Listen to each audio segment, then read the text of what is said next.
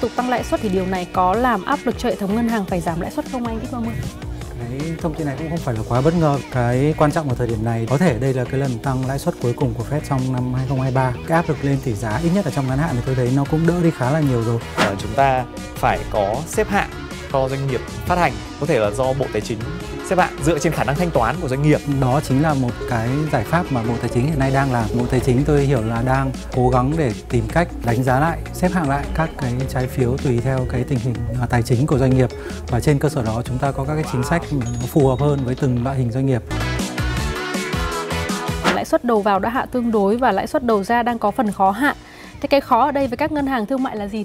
À, thực tế thì uh, chúng ta sẽ thấy là cái lãi suất tại thời điểm này đang hạ và hạ rất là nhanh. Dạ. Thế nhưng mà vấn đề rằng là các ngân hàng thì cái danh mục gửi tiền ấy, nó là những cái khoản mà từ trước để lại.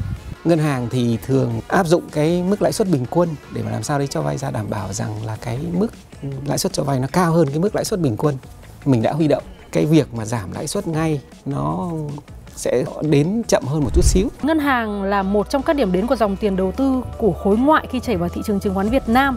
Thế xin được hỏi anh X30 là họ nhìn thấy được cái tiềm năng gì của thị trường tài chính của chúng ta? Các nhà đầu tư nước ngoài khi vào Việt Nam thì họ thường uh, nghĩ đến cái câu chuyện tăng trưởng. Và thường thì họ sẽ suy nghĩ rằng là hai cái ngành ấy mà có thể capture được hết các cái tiềm năng tăng trưởng của Việt Nam thường một là ngành ngân hàng và hai uh, là ngành tiêu dùng.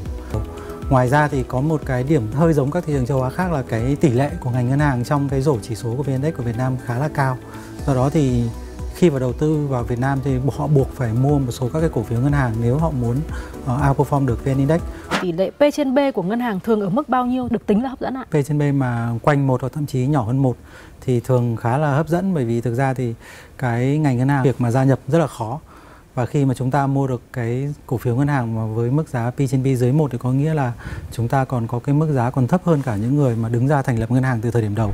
Đầu tư vào ngành ngân hàng làm sao để có chiến lược phù hợp ạ? Cũng phải có cái phân tích và phải nắm bắt được thông tin xem rằng là cái ngân hàng nào bên cạnh cái câu chuyện về giá về ấy thì chúng ta cũng phải xem về cái hiệu quả hoạt động về cái tính ổn định lành mạnh bền vững của một ngân hàng. Làm thế nào để có thể biết được và tìm kiếm được những cái thông tin về chất lượng cho vay và liên quan đến nợ xấu thì tìm hiểu những cái thông tin này ở đâu? Các ngân hàng thì phần lớn là đều đã niêm yết và đều phải công khai báo cáo tài chính hàng quý. Dạ.